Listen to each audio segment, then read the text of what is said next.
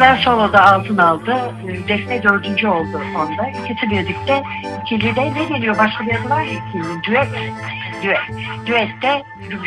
Bir Gün TV'den herkese merhabalar. Bugün Antalya'da Jüri Özel Ödülü ve İstanbul Film Festivali'nde mansiyon ödülünü alan Düet e, filminin yönetmenleriyle beraberiz. Sevgili İdil Akkuş ve Ekin İkba, hoş geldiniz. Hoş bulduk. Nasılsınız?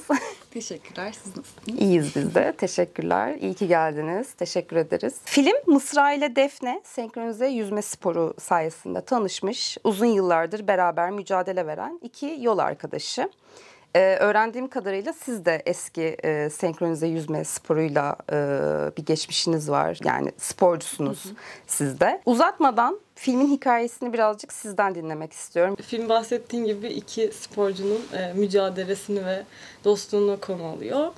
E, biz aslında hepimiz spordan tanışıyoruz. Mısra ve Defne, İdil'le ben de. E, ve İdil'le uzun yıllar bu sporu yaptığımız için yani bu konuyla ilgili bir film yapmak içimizde varmış. E, 2016'da biz İdil'le sporu bıraktıktan sonra e, başka bir film yapma e, vesilesiyle bir araya geldik. Fakat o böyle tam olgunlaştıramadığımız bir e, fikirdi. E, derken Mısra Defne'nin o zaman en böyle iyi olduğu dönemdi sporda ve onlardan çok sık bahsediyorduk. E, kendi sporculuk hayatımızdan da çok sık sohbet ediyorduk. Çünkü biz de hayal kırıklığıyla bıraktık bu sporu. O esnada İdil'in de bir bitirme projesi yapma vakti gelmişti ve e, üniversiteden hocamız işte İlkay Nişancı e, bize dedi ki yani niye bildiğiniz bir yerden başlamıyorsunuz madem siz de bunun içinden geliyorsunuz ve böyle iki karakter var. Biz de onun üstüne Mısra Defne'ye sorduk. Biz böyle bir şey yapmak istiyoruz. Sizi hani dört yıl takip etsek böyle bir film yapmaya nasıl bakarsınız diye. Onlar da olur dediler. Gayet sıcak baktılar ve biz böyle 2016 Aralık ayında ilk Türkiye şampiyonasında bir çekim yaparak başlamış olduk. Tabii yolda filmin e, geldiği nokta çok değişti. Belki İdil orada biraz bahseder.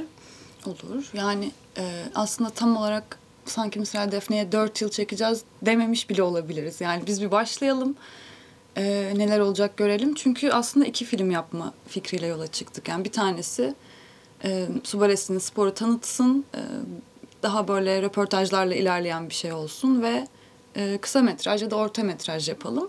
O bittikten sonra da işte Mısra Defne'nin e, hikayesine odaklanan uzun metraj bir şey çekelim. Ama bu mesela böyle şeydi. Bayağı uzakta bir hayaldi yani. Önce ilkini tamamlayalım. Biraz da şeyin de etkisi var. İlk filmimiz ikimizin de. E, ne yapabiliyoruz görelim yani. Çünkü bir fikrimiz yok film çekmeye dair. Biraz o deneme tahtası olarak kullanmayı planlıyorduk ama e, zaman ilerledikçe ilkini hem yapmak istemediğimizi fark ettik hem de bunun iki ayrı film olmasının bir anlamı yok gibi gelmeye başladı.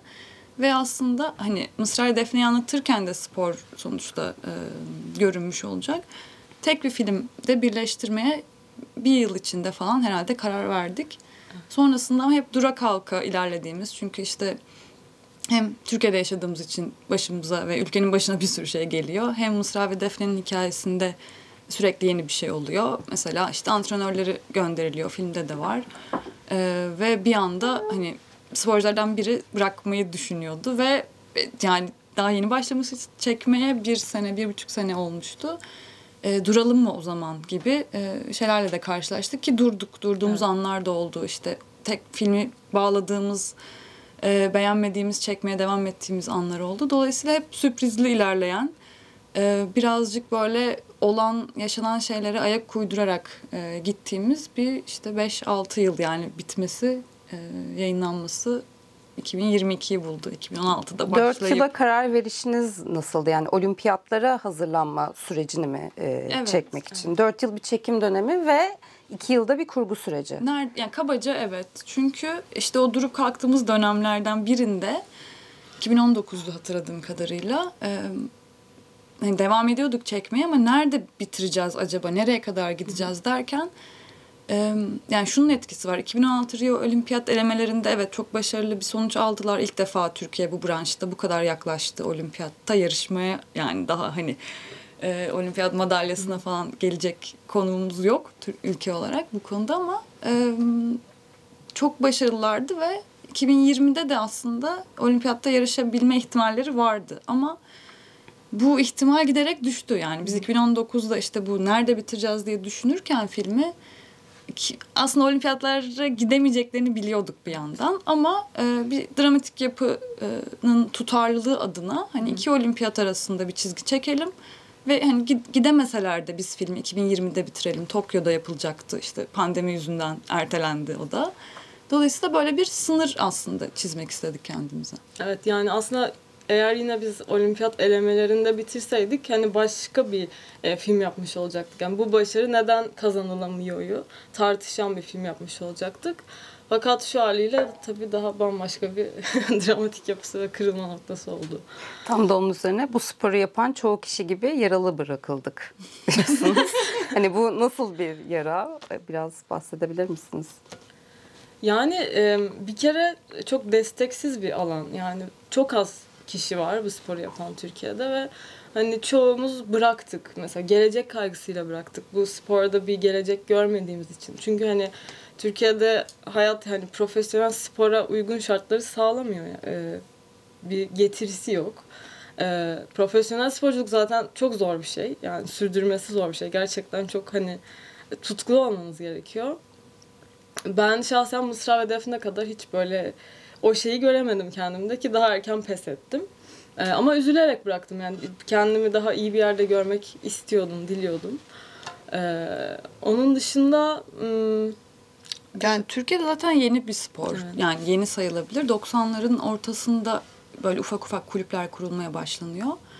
Ee, ve aslında hani Türkiye'li ama e, ya Kanada ya Fransa'da büyümüş e, bir kadın getiriyor ülkeye sporu yani. Hani burada böyle bir şeyler var. Çünkü orada işte yüzme takımı ve senkronize takımı varken görüp heveslenip orada sporcuyken burada da başlatmak istiyor. Böyle aslında bir, iki kişi yani işte bir de Bulgaristan'dan e, okumuş yine oradan gelmiş bir antrenörümüz vardı. Dolayısıyla bu Gülcan Hoca ve Yıldız Hoca e, şeye getiriyor, Türkiye'ye getiriyor ve 99'da federe oluyor spor aslında. O da şu yüzden normalde böyle yapmaya başlıyorlar sporu burada ama e, federasyon yok yani. Var ama yüzme federasyonunun içinde e, şey değil, böyle bir branş yok. Avrupa Şampiyonası'na ev sahipliği yapacakken Türkiye diyorlar ki e, o zaman feder yani o tüm branşların olması gerekiyor bir şampiyonaya ev sahipliği yapmamız için. Yüzme, atlama, su topu, senkronize e, bu kadar sanırım. Dolayısıyla böylece kuruluyor. Yavaş yavaş işte ilk Türkiye şampiyonaları yapılmaya başlanıyor ve e, dediği gibi çok az kişi var ve aynı kişiler yani sporcular sporu bırakıyor, antrenör oluyor, hakem oluyor. E, yurt dışından bunun aslında işte eğitimini alıp geri gelenler var ama yeterli değil. Dolayısıyla oturmuş bir düzen hiçbir zaman olmadı başından beri. Ve o e, federasyonun eksikliği aslında e, spor için yeterli koşullara e, erişememize sebep oluyor. Ve yani mesela benim son çalıştığım e, sporculuk yaptığım takım dağıldı, dağılarak bıraktı yani. Çünkü mesela bir yarış var ama işte federasyonun canı o sırada o yarışı yapmak istemiyor bir takım sebeplerden ve biz böyle aylarca çalışıp e, işte atıyorum yaz başı olacak. Sporculuk yani zaten çok benzer ama su baletinde özellikle böyle e, ivmenin giderek arttığı yarışa e, kadar bir çalışma temposu var ve tam o yani şey noktada en yüksek noktada yarışa girmeniz lazım. E, yarışı iptal edip aylar sonra erteleyince e, hiçbir anlamı kalmıyor aylarca çalışmanın. Dolayısıyla böyle bir dağılan takımın e, içindeydim ve mesela düet de çok garip bir tesadüfü var şöyle. Benim bir düet eşim vardı Işıl. Ee, ve biz sporculuk hayatımız boyunca işte kulüpten kulübe gezerken sürekli düet hazırladık yani koreografi hazırlandı yarış için hazırlanıyoruz hep iptal oldu yarışlar yani beş kere falan düet hazırlandı ve o düet hiç yüzülemedi o yüzden böyle şimdi yüzülmüş sayıyorum yani artık filmle birlikte İnanılmaz motivasyon kırıcı bu arada. Yani hiç peki e, dönmeyi düşündünüz mü? Çünkü biraz şey de bir spor yani her spor gibi bırakıldığında tekrar dönülmesi ama bu biraz daha riskli. Yok zaten yani hani e, spora devam ederken atıyorum bir hafta antrenman yapmamanın çok ciddi bir kayıp olduğu bir spor. O yüzden hani spora bırakıp tekrar dönmek çok yani gerçekçi değil hani bütün esnekliğiniz, kondisyonunuz e, kaybolmuş Her şey oluyor. gidiyor. Zaten hani e, Türkiye'de bu kadar hani başarıya belki ulaşılamamasının sebeplerinden biri de hani atıyorum böyle diğer sporlar gibi bir anda sonuç alınabilen bir spor değil yani. yani yıllarca üstüne koymanız gereken bir spor ve o takım düet yıllarca çalışacak ki e, bir arada e, çok iyi bir yere gelsin ama o şey sağlanamıyor maalesef birçok sebepten. Devamlılık ve bütünlük. O yüzden e, dönmek gibi bir şey söz konusu. Filmle döndük. Peki bu e, federasyonlardaki çarpık işleyiş, liyakatsizlik örneği size nasıl yansıdı? Aslında biraz bahsettik ama biraz böyle ondan bahsetmenizi isteyeceğim. Yani şöyle. Ya filmin içinde de izliyoruz bu arada. Ee, hemen ona bağlayacağım çünkü antrenör e, görevden alınıyor. Bir başka e, sanırım nereden? Rus Rusya'dan. Rusya'dan tekrar bir antrenör geliyor. Belki biraz onu mix yapıp anlatabilirsiniz. bu branş bir yük olarak görülüyor aslında. Yani hani hem bir para kaybı hem bir zaman kaybı. O yüzden istenmez yani su takımları hiçbir havuzda. Zaten kendilerine ait bir havuz yok. Yani filmde de hani Kur'an kursu yüzme dersi veriyor ve kızlar oradan antrenman yapamıyor gibi örnekler. Kur'an kursu öğrencileri sanırım rahatsız oluyor değil mi? Onların mayo ile geçmelerini istemiyorlar. Yani antrenörlerin öyle bir şeyi var, e, tezi var. Hani çocuk, çok küçük çocuklar bu arada. Hani kendileri rahatsız olup söyleyecek durumda bile değiller. E, ama antrenörleri biz o sırada yani çekim günüydü ama tam o sırada yanlarında değildik. Kovulduktan sonra yanlarına ulaşmıştık. E, yani kara antrenmanı denen bir şey var yani suya girmeden önce işte ısınıyorlar, e, kondisyon çalışıyorlar vesaire. Onu havuzun kenarında yapıyorlar genelde yani bazen çünkü zaten havuzun yani e, kara antrenmanı yapmak için ayrılan salonu yetersiz işte filmde mesela kendileri temizliyorlar yani yıllardır temizlenmemiş bir yer neredeyse. Dolayısıyla mayo yani havuza girmek üzere hazırlar ve mayo ile işte ne bileyim kol çevirecekler, esneyecekler. O, o ona bile katlanılamamış yani. Dolayısıyla hep evet böyle şeyler e, yaşadık film çekimleri boyunca. Çünkü yani biz oraya antrenman çekmeye gidiyoruz. İşte havuzdan kovuluyorlar. Ya da başka bir gün gidiyoruz havuz kapalı, açılmamış, gelmemiş anahtarın yani sahibi Eve falan. gidelim diyor mesela diğer sporcu. Dolayısıyla hani bir sporcu hikayesi takip etmeye çalıştık. Yani bunda e, şey şöyle bir diretmemiz yoktu. Spor dışında başka hiçbir konuyu katmayacağız gibi zaten yani çok gerçekçi bir şey de değil. Böyle bir iddiamız da yoktu ama doğalında e, hem federasyonun hem de ülkenin e, yurttaşlarına veremediği ve önüne engel çıkardığı her şeyle biz de dolayısıyla karşılaşmış olduk. Böyle bir süreçti. Evet. Mayo diktirmenin bile zor olduğu bir ülkeye dair ne hissediyorlar peki? Mısra ve Defne sizden dinleyelim. Maya Öyle bir şey. çok zor değil aslında. Hani bunun için bir bütçe ayrılsa ve yani. Daha doğrusu bu federasyonla bu sporu tanımıyor. Yani gerekliliklerini bilmiyor. Hep aynı Ya da kapıya çıkıyor aslında değil mi cevap vermek yani federasyonun? Dolayısıyla yani bu sporu yapan çoğumuz da hani bu gerçekle bir şey kendimiz yani biz tanıtalım o zaman biz yapalım hani. Çünkü bu işi yapmak istiyorsanız hani yalnızsınız. Aslında hani düetin de e, benim için en azından en e, kıymetli olduğu noktadan yalnız bırakılan e, iki insanın mücadelesini anlatmış olmamız. Yani kı- kırılıyorlardı gerçekten. Evet. Yani çünkü çok basit bu işleri çözmek. Yani çok ufak bütçelerle o mayo diktirilebilir ama işte eski mayoların üstüne yama yaparak falan böyle e, hiç yani bir sporcunun düşünmemesi gereken bir sürü şeyi düşünmek zorunda kalıyorlar ve motivasyonlarını da kaybetmelerine sebep oluyor. Çünkü işte mas mesela masaj yapan biri olması gerekiyor. İşte onların beslenme düzenini sağlayan biri. Koreografiyi ayrı birini yapması gerekiyor. Yani zaten mesela filmde iki antrenör görüyoruz sırayla. Ki antrenörsüz kaldıkları bir dönem de var bilgi olarak. Normalde zaten tek antrenörle çalışılmıyor yani bir sürü antrenör ve bir ekip işi. Ee, dolayısıyla hiçbir şey yok yani bir süre sonra şey diyorlar hani biz niye devam ediyoruz ki yani zaten o da yavaş yavaş hani kırılıyor çünkü sevdiğiniz bir şey olsa da hani bir noktada yani olmuyorsa bunun önünde bu kadar engel varsa bir yere gitmiyor bir süre sonra. Yani Peki aslında bunun- tutkuyla yaptığınız şey bir noktada tahammül ettiğiniz bir şeye dönüşüyor. Bir de bunların içinde bir sürü sorun varken patlak veren bir pandemi var. O, o süreç nasıl geçti peki? Pandemi nasıl etkiledi yani?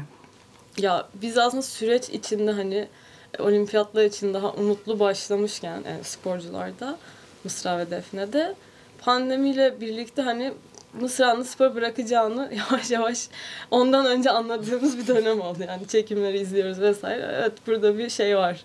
Ee, Bir veda yaşanacak dediğimiz nokta. Çünkü hani Mısra artık şey e, noktasındaydı. Ben elemelere gideceğim, işte podyumda elimi sallayacağım ve jübilemi yapacağım noktasındaydı. Pandemi o şeyi e, daha da ileri attı. Yani onun için bir yıl daha bu şeye katlanması demek olacaktı.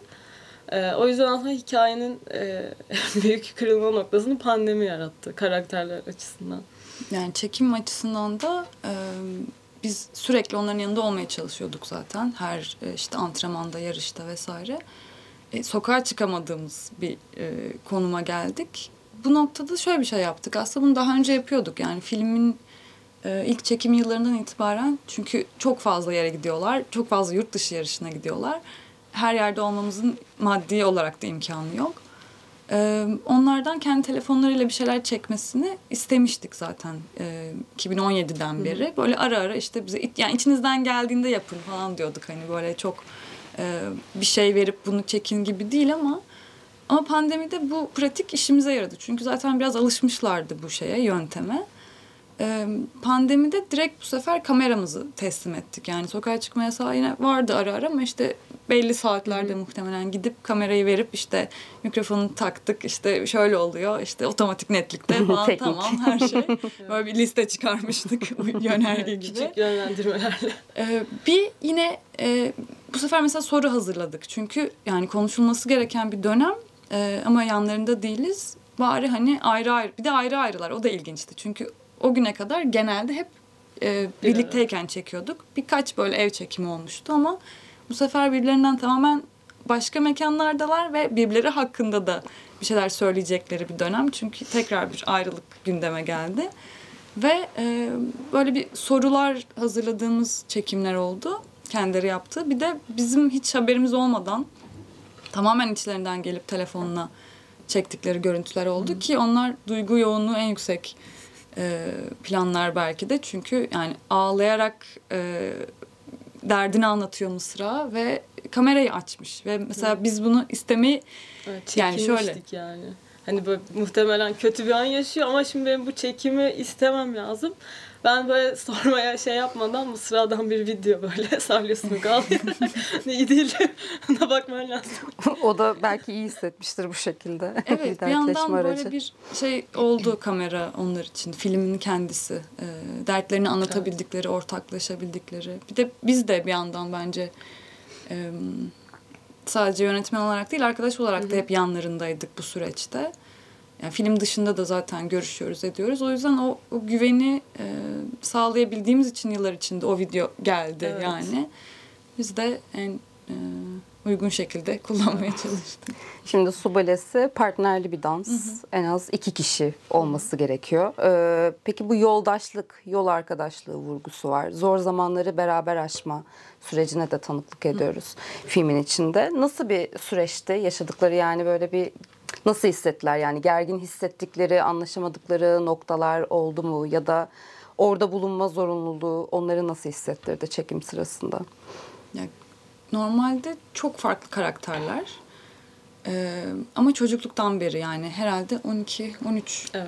En daha az, da küçük e, 9 yıldır Evet. yani. O ilk o, yapıyorlar. 2011'deki bir görüntü var. İlk e, sanırım yarıştıkları Evet bir ama o yani sporu aslında bir süredir yapıyorken e, bir görüntü. Dolayısıyla çok küçük yaştan beri birlikteler ve e, yani şans eseri hep birlikte düet yüzmüşler. Çünkü bu değişebiliyor. Milli takım düeti işte Türkiye'de hani o sırada en iyi iki kişi kimse ona veriliyor. Ama yani bugüne kadar e, hatta şu anda da onlardan daha ileri seviyede sporcu çıkmadığı için hep milli takım düetini onlar yüzdü. Dolayısıyla hep birliktelerdi.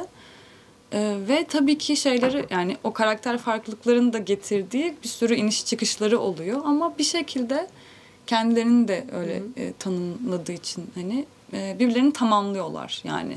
Ve şeyleri bile farklı yani. Yarış öncesi stresle başa çıkma şekilleri bile ikisinde farklı. Ama birbirlerini tanıyorlar çok iyi biliyorlar. Yani yine onların verdiği örneklerden mesela antrenmanda birinin e, daha yavaş yüzdüğünü diğeri fark edip bir sorun var deyip arkasına dönüyor ve işte Defne biraz böyle baygınlık geçiriyormuş o sırada. Yani nefes alıp vermelerine kadar aslında bildikleri bir ilişki. Ee, ama sürekli birlikteler Evet. ve bu da çok zor bir şey yani hani e, sürdürmek açısından. Ama bugüne kadar bence e, güzel bir dostlukları oldu.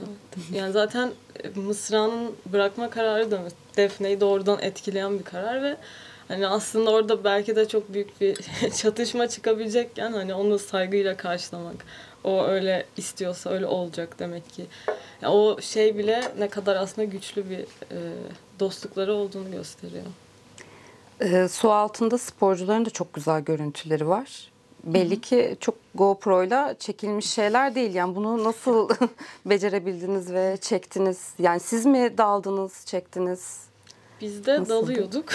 bir süre daldık. nefesimizi de tutabiliyoruz. Hani onların su altında nasıl hareket ettiğine de e, aşinayız. O yüzden GoPro ile çok sık girip şey yapıyorduk, çekiyorduk. Fakat onlar tabii ki hani çok iyi e, estetik açıdan çok iyi sonuç veren çekimler olmuyordu.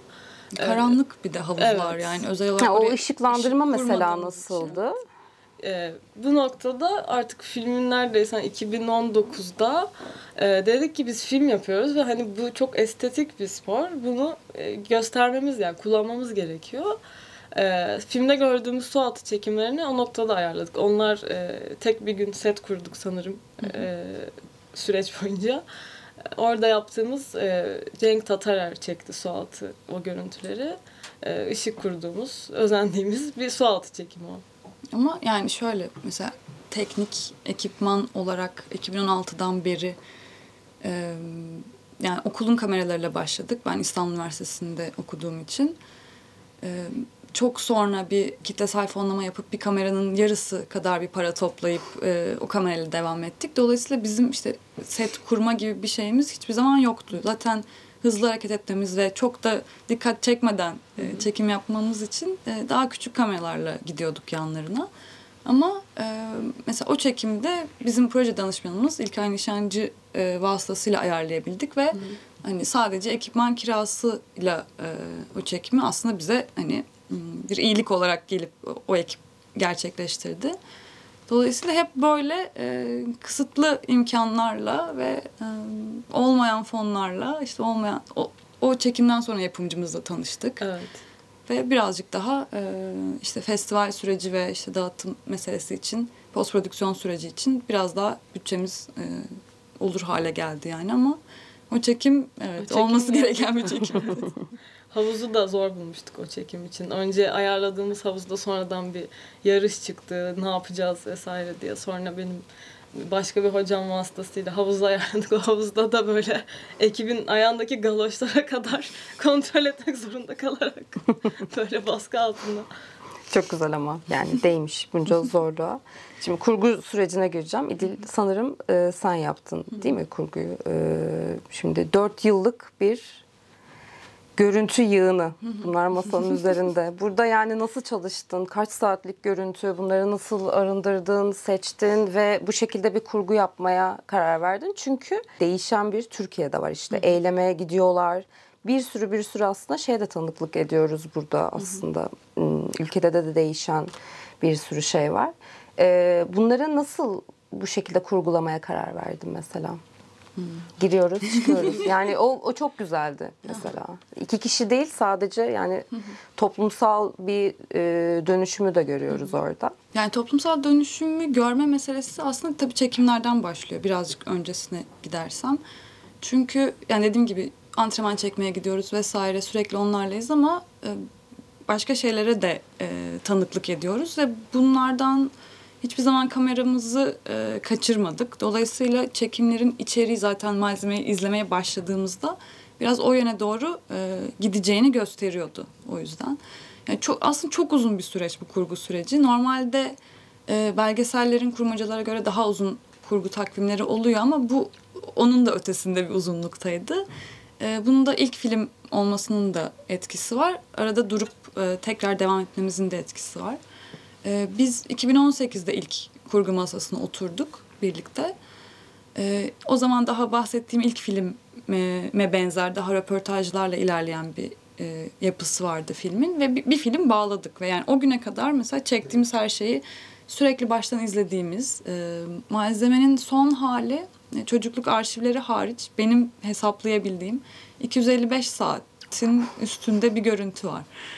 Dolayısıyla önce bunların aslında iyi organize edilmesi yani doğru şekilde izlenip doğru şekilde e, kategorilere ayrılıp program işte bir kurgu programında ona göre düzenlenmesi aşaması zaten yani aylar yıllar alıyor neredeyse.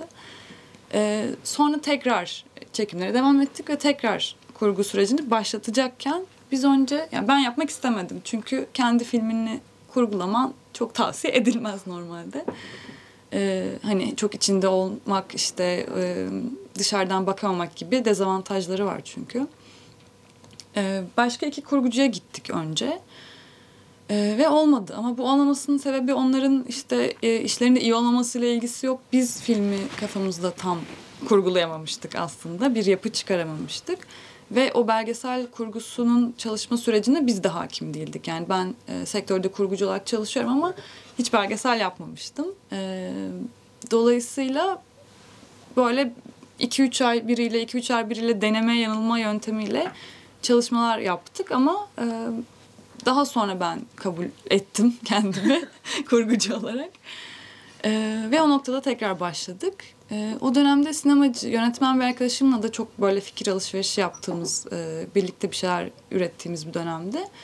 E, onunla e, üstüne düşünüyorduk. İşte İlkay Hoca bir yandan proje danışmanımız sürekli ondan e, geri dönüşler alıyoruz ne yapsak.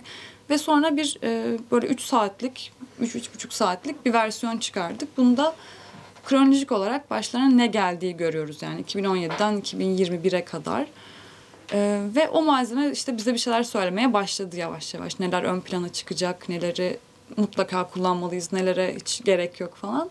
Onun üstüne e, aylarca çalışıp birkaç versiyon çıktı ortaya. Ama mesela arşiv kullanımını çok değiştirdik yani sırası, e, biçimi böyle oralarda çok oynadık ve işte aslında bir spor belgeseli mi olacak bu yoksa bir dostluk mu kısmı kurguda e, ve aylar sonra yani karşımıza çıkan bir soruydu. Orada da filmin e, tonunu yani çekim yaptığımız yıllarda çünkü başta daha farklı çekiyorduk. Sonlara doğru e, değişmişti. Ve art 2019 sonrası bizim için filmin ana yapısını oluşturuyordu. Orayla e, tutarlı bir hale getirmek için bayağı bir uğraştık. Yetmedi. Film bittikten sonra yani festivallere göndermeye başladık. Kapattık. Her şey bitti. İşte ses, tasarımı, kalırı vesaire müziği. E, bir 4-5 ay geçti Geçti. üstünden ve ben filmi beğenmedim. Dedim ki açmamız gerekiyor. Yapacak bir şey yok yani. E, dolayısıyla tekrar e, değişikliğe gittik ve bu sefer içimize sindi yani. Peki son sorum. Birlikte nasıl çalıştınız ve e, birlikte tekrar bir proje üretmeyi düşünüyor musunuz? Yani birlikte çalışmanın şöyle bir avantajı oldu. İki kişi bir film yapmanın. Ee, birincisi zaten tek kişi film yapma deneyimimiz olmadığı için ilk gördüğümüz ve tanıdığımız e, yöntem bu oldu ikimiz için de. Ve bir şekilde e, aslında belki cesaret edemeyeceğimiz birçok şeye iki kişi olduğumuz için e, daha kolay ikna olduk. Daha kolay, e, daha hızlı adım attık bazı noktalarda. Ya da işte kurguda bir şey denerken e, çekinmedik yapalım bunu gibi o fikrin arkasında e, birinin daha olması, o sorumluluğu paylaşma hissi aslında kolaylaştırdı bu süreci. Ve hani hem Mısra yani Mısra ve Defne'nin düetine çok benziyor bir yandan. Çünkü onların da karşısında bir sürü sorun çıkıyor ve birlikte devam etme kararı alıyorlar. Bizde de yani motivasyon olarak da sürdürmesi 6 yıl boyunca bir şeyi çok zor. Hayatta herhangi bir şeyi 6 yıl yapmak zaten bence çok zor. Ee, ve bu noktada kendi hayatımızda da bir sürü şey oluyor ve biri düştüğünde diğerinin onu kaldırması için e, aslında avantajlı bir yöntem. Evet. Yani aynı şeye inanan iki kişi var yine aslında. Aynı filmi hayal eden. Ee, hayata bakışımız da benziyor. O yüzden de hani e, bir tamamlanma oldu. E, Bundan sonrası için yani henüz bir projemiz yok e, hazırda ama tahmin ediyorum ki e, iki yönetmen olmasa da bundan sonraki işlerimizde e, birlikte çalışırız ve bu ekip arkadaşlığını sürdürürüz diye düşünüyorum. Peki düetin yolculuğu nasıl devam edecek? Nerede izleyebiliriz? Festival süreçleri nasıl gidiyor? İlk olarak önümüzde Ankara'da gösterim var. Ee, Daha sonrasında vizyon e, planlıyoruz. Ee, Mümkün olduğunca böyle farklı farklı şehirlerde, salonlarda düeti paylaşmak istiyoruz. Çünkü gösterimler de hep çok coşkulu geçiyor yani. En son e, İstanbul Film Festivali'nde herkesin böyle bir bağ kurabildiği e, bir hikaye oldu sanırım. Ellerinize sağlık. Çok teşekkürler. Teşekkür Umarım e, düetin yolculuğu da e, çok güzel gider.